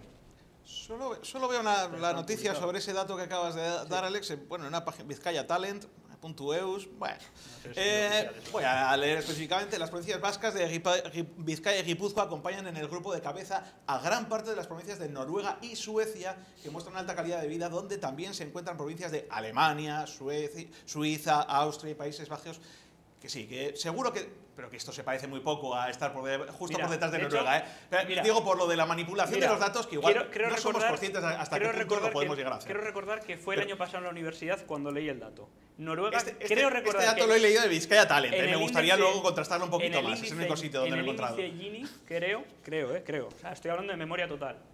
Noruega se encontraba, siendo el, el valor perfecto 1, se encontraba el 998. Y Guipúzcoa se encontraba el 999. Búscalo. Seguro que lo Vizcaya Talent igual también lo tengo. Hombre, eh, Vizcaya Talent no sé yo, pero busca, fuentes, más, busca, fuentes más fiables, por ejemplo, eh, eh, de la ONU, de la Unión Europea. ellos sí, sí, te suelen dar datos más fiables, si no, Vizcaya Talent, que no sé ni quiénes son. dime, dime, Alex, algo en lo que haya fallado el PNV. Dice, esto es mejorable. Pues, por ejemplo, Claro. Es que, me cuesta. Por, eso digo, que, digo que, muchas veces digo. Me cuesta encontrar algo, lo hacemos todas las lecturas, todas las lecturas positivas. Oye, pero esa pregunta o sea, podríamos hacer a todos. Claro. Que cada uno haga su autocrítica personal, no solamente él. Que cada uno diga en qué he fallado yo, en qué he fallado yo, en qué. Bueno, entiendo que perfectos no somos nadie. Primera vez en la historia que suspenden a Osakiacha. Primera vez. Y eso es algo oficial de Deusto Barómetro. Un toque de atención. ¿vale? Un toque de atención. Parece bien. También tenemos la promesa de la ambulancia medicalizada en Álava, 29 de septiembre. Estamos ahí de octubre, no ha llegado. Teníamos, por ejemplo, una gran falta de, de especialistas de pediatría, familia, anestesia y cirugía en todo lo que es la margen de Ibero Costa y eh, provincia de Vizcaya, y sabemos entenderlos. Y eso hace ya años. Entonces, ¿qué vamos a hacer? ¿Vamos a hacer algo? ¿Vamos a empezar a, a reaccionar? Porque esto al final estamos siguiendo caminos como Cataluña, Islas Baleares y Valencia, o Comunidad Valenciana, que han sufrido grandes pérdidas de sanitarios, grandes pérdidas de especialistas sanitarios, mejor dicho, por intereses nacionalistas, lingüísticos, que promulgaban el catalán, balear o valenciano por encima de la tesis doctoral. Y la tesis doctoral sabemos tú y yo que es bastante complicada de obtener. Y aquí está pasando lo mismo. ¿Qué ocurre? Que tenemos, estamos a tiempo de evitarlo. No. Estamos a tiempo. Mira, ¿sabes lo que pasa, Luis? Los partidos españoles a veces hacéis la trampa en esto. Y queréis equiparar el saber operar con el saber un idioma. No puede ser que un médico tenga una tesis doctoral y aparte sepa un idioma. Mi pregunta es, ¿puede ser de Madrid ese, ese médico y no saber euskera o catalán? Sí, perfecto. Si es de Madrid y tú has dicho que tantas oportunidades hay, que tantas oportunidades académicas, ¿no puede aprender euskera en Madrid? No puede ser, ¿vale? Castilla y León, Valladolid. Te estoy poniendo ejemplo todo, o bien un médico extranjero, un francés, por ejemplo, como pasa aquí en Basurto. Yo conozco a un, un médico francés. ¿Qué? Y no sabe euskera y puede ser tesis doctoral. Pues, Bueno, O sea, viene, estamos viene, Euskadi, viene a Euskadi a trabajar, que menos Estamos- que sepa el estamos idioma del potenciando- ¿Y te territorio. Opera, te opera en francés, tu amigo? No, habla, habla en castellano. ¿Por qué? Porque es la lengua vehicular del país. El euskera es la cooficial, en este caso. Pues tú te vas Co- fuera... Oficial con el castellano. Cooficial, te repito, Claro. vale. Pues entonces, Es tiene que que... el entonces- nivel de cooficialidad entonces, le damos como si fuese un nivel no, inferior. cooficialidad, es igual. Lo que pasa es muy sencillo, ¿vale? es que tú no puedes hacer que una persona, por un ejemplo, Oficialidad es igual. El la gente, la gente que ha estudiado, la gente que ha estudiado, un momento, eso, la gente que ha estudiado en el colegio francés, inglés o alemán o americano y luego ha hecho como la carrera de medicina, que conozco varios compañeros que tengo de de esos colegios, son gente muy top. Tengo suerte más gente muy maja y además muy lista. y esa gente no, no, tiene no- ni idea, ni idea de euskera. Yo tengo el B1 y a mí el euskera se me da regular regular. ¿Y en qué yo soy, yo soy más de matemáticas cosas. En el Entonces, irlandés de aquí, de Leyoa, el que está en Leyoa. o no, yo, No, no, eh, tus mis, con mis amigos, amigos en el francés. Pero que están aquí en Vizcaya. Claro, bueno, el Y liceo han, francés. preferido, y han preferido aprender francés. francés a euskera. Bueno, pues sacaron. Bueno, el francés creo que te abre más puertas. El inglés anda más puertas y el alemán también. Puertas, las Entonces, puertas. La cosa es. La cosa en es. ¿Y y la cosa es. Yo he hablado más en inglés y en francés, y ahora hablo en castellano, que en euskera, en en Basurto. Pues yo no. Yo he hablado mucho más Pues euskera yo te estoy en hablando Euskadi de la realidad. en francés, yo te estoy hablando de la realidad sanitaria que hay en Vizcaya. Y la realidad que pasa es que estamos muy favoreciendo, plurilingüe esa realidad. estamos favoreciendo lo que viene siendo intereses de lingüísticos independentistas frente a la formación profesional académica de los, de Claro, los lo que, No, lo no, que Luis cuenta, pero entiendo Luis que tus, eh, tus compañeros, eh, su opción para trabajar es irse fuera. Muchos están diciendo, o me voy, o sea, yo aquí, o me voy, o aprendo euskera. ¿Qué ocurre? Que la gente ya a una edad es, o se la mal el euskera porque ya no, digamos que ya está mentalizado en otras cosas, o es que se la mal el euskera. Amigos míos son de aquí, un amigo mío es de, es de Indauchu, ha estudiado de francés, es decir, alguien que es de Bilbao, Bilbao, que ha nacido en Bilbao, se ha criado en Bilbao, ha crecido en Bilbao y está estudiando en Bilbao. ¿Qué pasa? Como no tiene ni idea de euskera, yo digo, un día de estos, cuando haga la oposición y saque una plaza que esté de manera provisional en un ambulatorio o en un hospital, puede llegar alguien que, que sepa euskera y menos medicina y la barra. Pues que ir a otro lado. Pues qué pena que sea tan listo y esté tan preparado y no pueda aprender la lengua en su territorio. Pues Qué fíjate que hay gente que no es perfecta en todas las materias de la universidad ni de Por la eso no quiere decir que en Andorra no te vayan a pedir el catalán para, que, para atender en, en el Andorra hospital. es un país, bueno, Euskadi no es un país. sí, bueno, para algunos Bueno, lo es, no, no, pero bueno. espera, espera. Me gustaría, me gustaría entrar Pero, en la pero más, allá, se llama País Vasco No, no. y la De cooficialidad la has, la has afirmado tú hace me unos gustaría, minutos. me gustaría entrar en la definición de país. ¿Sabría alguien definirme lo que es un país? Sí, Os lo, doy- os lo digo yo. muchas Que haya un territorio que tenga una población que tenga instituciones públicas propias y ya está. Eso es un país. ¿Euskadi tiene un territorio definido? Euskadi digamos que tiene la capacidad de decisión de España. No hagas trampa. Euskadi tiene la No, fuerza... No, Luis, no, yo, estoy, yo, trampa. yo te estoy comparando con España, es un Preguntas, país. preguntas concretas de sí o no. ¿Euskadi tiene un territorio definido? Sí. ¿Tiene de- Dentro de España, ¿Pero tiene un territorio definido? dentro de España. Sigo, ¿Me estoy equivocando? ¿Estoy diciendo una mentira? Está dentro de para España. nada, para nada. Para nada, pero estamos diciendo que dentro de un Estado Pues pueden sí existir no. varios países. Pues sí o no. Como está pasando en España, en el Estado español, pasa que hay varios países dentro del Estado español. Lo- Y, y querer no reconocer la plurinacionalidad del Estado español, pues ¿Pero es ¿Cuáles una serán? ¿Cuáles serán los...? ¿Cuáles serán? Tener un territorio, tener una población en ese territorio y tener instituciones públicas propias. ¿Euskadi cumple los tres requisitos? Sí, yo también, pero bueno. Eh, Cuenca. Que sí, que sí. Que, a ver. Castilla-La Mancha. Obviamente un país. Canarias. Es, una, es una entidad con conciencia nacional. Y, Todas provincias. Y ahí, nos tendríamos que centrar eh, pues desde, los, de la desde la Pero bueno, más allá de eso, yo creo que esta discusión es mucho más cómoda para el PNV y sobre todo para el PSE que, que la anterior. El tema de, las huelgas, qué demonios está ocurriendo y, cuáles son los, problemas que tenemos en la calle para que la gente no, eh, esté, saliendo y no yendo a trabajar y considerando que debe no ir a trabajar para protestar por sus condiciones laborales. No es una cuestión muy, puntual de no, es que no tengo que aprender un idioma para, para poder optar a un, trabajo. Creo que por eso no, no salía la huelga. Yo estaba puntualizando no sé qué, chaval. No me supone ningún problema hablar de las huelgas. Ya te he dicho que respeto las huelgas, respeto que la gente busque unas condiciones materiales que mejoren su, condición de realidad vital, ¿no? Y yo creo, no, no, pero y yo te estoy diciendo que hay que apostar por el diálogo social, que por ejemplo es lo que nosotros desde nuestro departamento hacemos, desde empleo, con Doña Mendía, nosotros... Diálogo social no huelga, como dice UGT, ¿no? Eh, es que esa, es un poco la cuestión. está bien que haya un diálogo social, cuando Por supuesto, lo primero es el diálogo social. la huelga es para que haya diálogo social. Si hay una huelga es que hay un problema, pues está bien que haya un diálogo social. La huelga es para, el diálogo, para, para impulsar el diálogo social, o sea, eso es una realidad. La huelga es para sentarse a hablar, para forzar el que se. el que yo creo que, se, puede, hablar, se, puede, hablar antes de ir a la huelga. Se puede hablar antes de ir a la huelga. Y, y, aquí me, me estás dando un poco la razón de que se está haciendo las huelgas para politizar, antes de llegar al diálogo social. Y lo que hay que hacer es dialogar antes que llegar a las huelgas. Y si no te sientas a hablar. La huelga, pues la huelga es una herramienta que tiene el trabajador para poder forzar en la negociación pero es que esto no, sería mejor negociar antes de ir a la huelga? Hombre, si negocia antes, no se consigue llegar a una huelga, a la huelga sin intentar negociar. No sé, ¿Qué huelga se, ha tocado muchas huelgas, convocado sin intentar negociar antes? A ver, dime una. ¿Qué lectura hace? Pero, pero la pregunta es, ¿qué lectura hace el, gobierno vasco? Es que, bueno, que, ya sabemos cuál es la lectura, politizados. Pero realmente, o sea, de que, yo qué sé, pues eso, que, que, todo el sector público se vaya a la huelga, politizados. De que vayan eh, la concertada, la privada, eh, politizados. Yo no, estoy, diciendo que. Pues me, me, gustaría. Eh, la radio ITV, la radio de, de, la ITV también en huelga. ¿Cuál es la lectura? Que están todos politizados y están en contra del gobierno. Es absurdo. Me gustaría saber también el PSE qué, opina de, esta cuestión, porque el PNV sí que, bueno, en, boca de Urcullu, que también es representante de todo el gobierno, incluido al, PSE, ha hablado muy claramente, ha hablado en, términos, desde mi perspectiva, conspiranoicos. Me gustaría a veces sí también el PSE qué opina de, esas palabras Urcullu, de, dijo aquí, es verdad, que a él eh, estaba especialmente molesto por, por, las huelgas y en algunos casos concretos es verdad que lo dijo, eh, que estaba muy decepcionado muy decepcionado de algunos colectivos que él entendía no, no era el momento de, hacer esa huelga. Lo dijo aquí y, lo sigue diciendo como, como dice yo. creo que tiene toda la razón del mundo.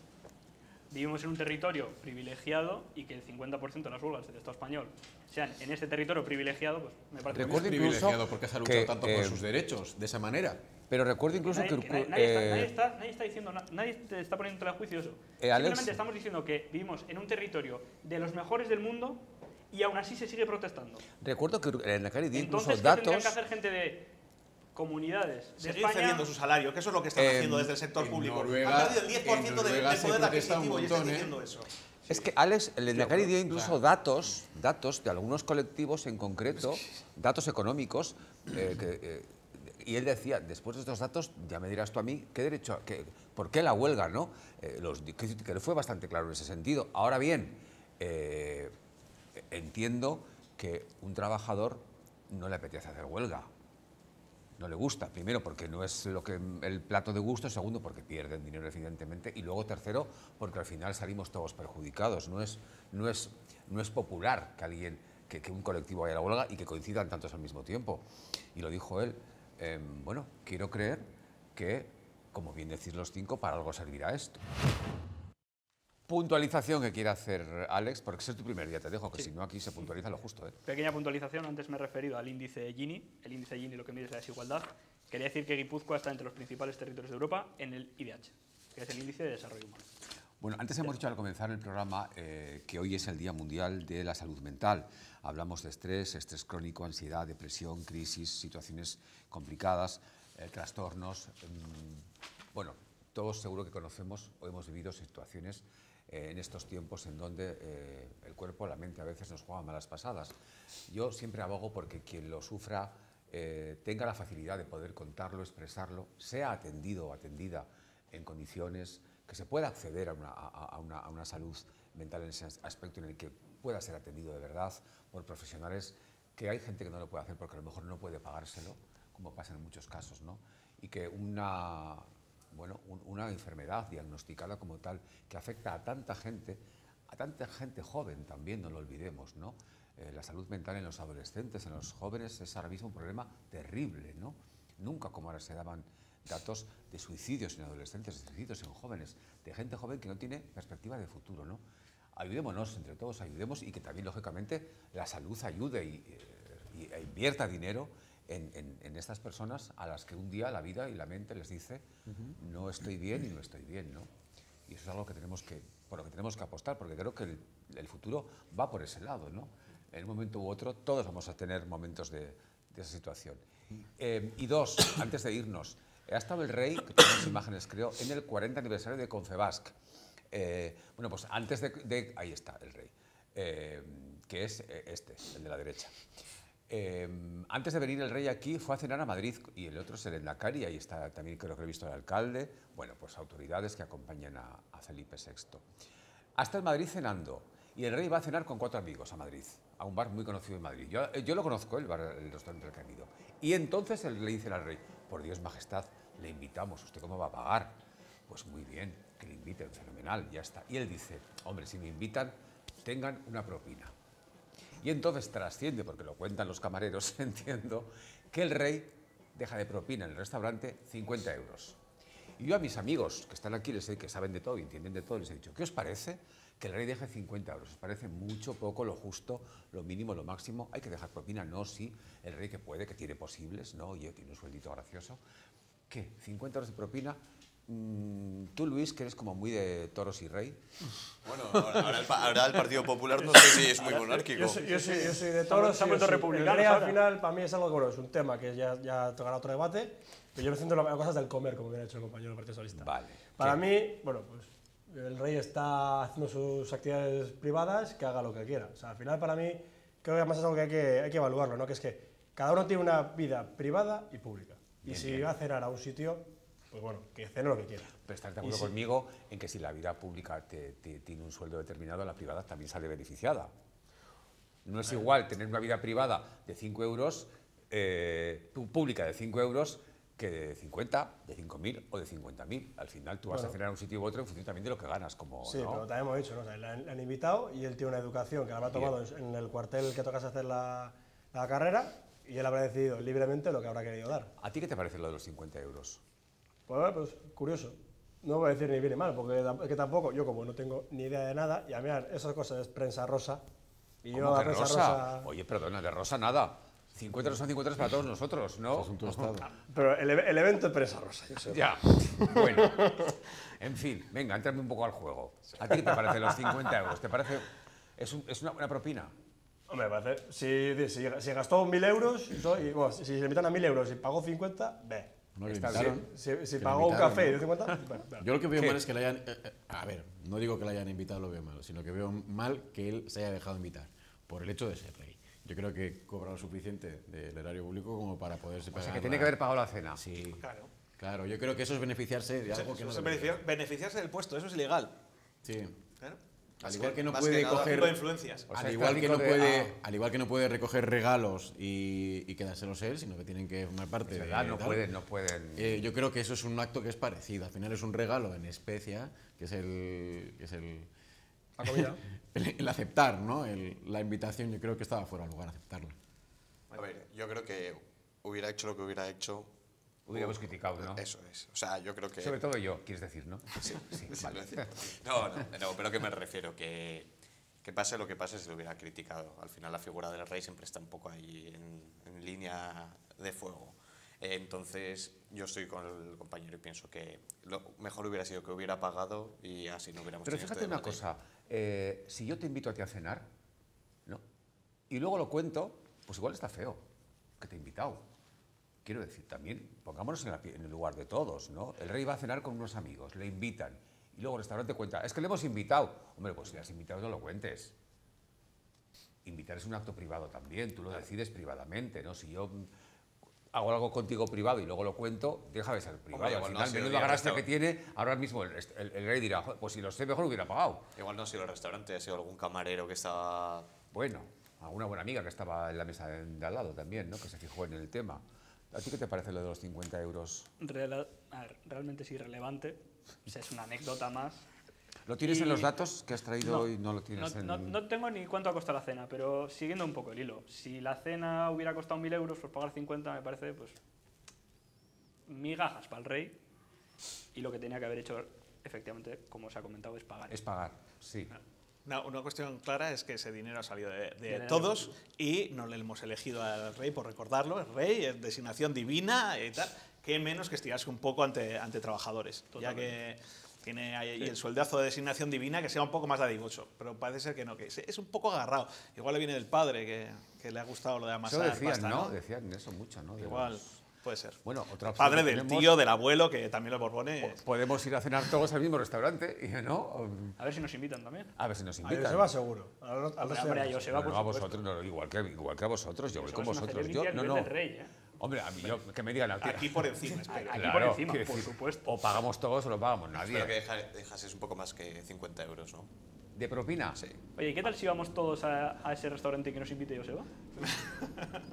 Yo creo, que, yo creo que invitarían a Joseba y que nos harían pagar a nosotros el, el cubierto de Joseba. Pues da gusto que vengáis, la verdad, para, para hundirme la noche. Bueno, en cualquier caso, lo que sí que es verdad es que eh, hoy lo he leído, ¿eh? eh esta misma fin de semana eh, se ha dado en directo la jura de bandera de la infanta Leonor, futura reina. Bueno, decimos que esto no le interesa a nadie, pero eh, ha sido récord de audiencia en la 1 de Televisión Española este, este especial de, millones de personas que lo han seguido, por lo que sea, curiosidad, morbo, interés, por criticarlo, por lo que sea. ¿no? Em, yo creo que también a veces tenemos que reconocer, entre comillas, ¿no? que lo que a veces no ve nadie, un poco lo vemos todos. Y que lo que no le interesa a nadie, todo el mundo sabe lo que ha pasado. Quizá haya que ver las cosas para opinar de ellas después también, ¿no? No está mal. Lo vemos, nos gusta o no, y luego lo criticamos o no, depende de lo que nos parezca, ¿no? Pero a lo mejor ver las cosas, la gente las quiere ver. Sí, yo creo que muchas veces que con el contenido hay incluso clasismo de, en el sentido de no veas eso. Lo ves pero no lo cuentas. Claro, no, no. Claro, sí, sí. No, pero ¿qué pasa eso? Que feo decir que has visto. Que has visto alguna cosa. Eh, yo, sinceramente, no, lo, no, lo, he visto. Pero. Pues ya lo, te, lo pongo yo ah, para, para, que lo veas. Mira, qué fina ella, con la bandera. Pues ahí la tienes. Bueno, la niña al final, 18 añitos, pues ¿qué queréis? Es que tampoco vamos a hablar de ella. Pero el acto en sí, que es de lo que yo estoy hablando, luego ya lo que hay detrás, haríamos un debate mucho más extenso, que será otro día. Pero es verdad que tuvo récord de audiencia, quiere decir que mucha gente en el país, nación, como queráis llamarlo, vio esto. Y aquí en Euskadi mucha gente lo ha bueno, También, si mira cómo fue el, funeral de la reina de Inglaterra. O sea, es decir, son eventos que, bueno, pues, pues por morbo, por saber. Por curiosidad. Bueno, yo lo vi porque éramos íntimas y ya se me, quedaba sola en el mundo, pero lo vi por eso. Claro, tú ya, yo sé, por asegurarme, de que, por asegurarme de que, de que, de que la familia real. Efectivamente. Bueno, eh, en fin. Alex, ¿bien la primera noche? Muy bien. Pues encantado de que hayas venido. Luis, eh, Emilio, eh, Yagoba y, y Juan. Encantado de saludaros, que volváis cuando queráis y seguiremos hablando de todo esto, que por lo que veo tenemos aún un ratito para seguir hablando, porque aunque haya gobierno y haya presidente, esto continúa. Seguimos.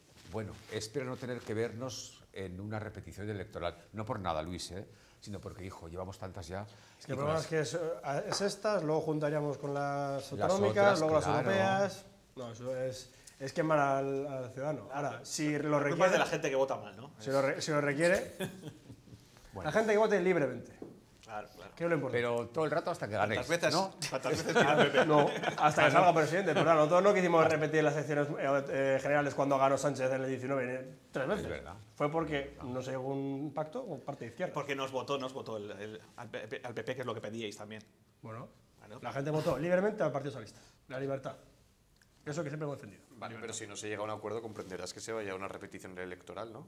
Claro, por eso, y yo por eso, oye, yo estoy a la espera de eso. Eh, ahora entonces, estoy, es no entiendo crítica. esperándolo. No entiendo la crítica. No, yo estoy ah, esperando. No, yo estoy diciendo que, oye, que si no se llega, pues que haga repetición. No, pero yo digo por, el 2019. Por eso digo, digo como aquí, aquí, se machacaba de hasta que gane el PP, bueno, pues en el 19 no ganamos ni la primera ni la segunda, ni las de abril ni las de noviembre. Yo me voy, y apago la luz y os dejo. Seguimos aquí, con, lo vuestro, que veo que es muy interesante.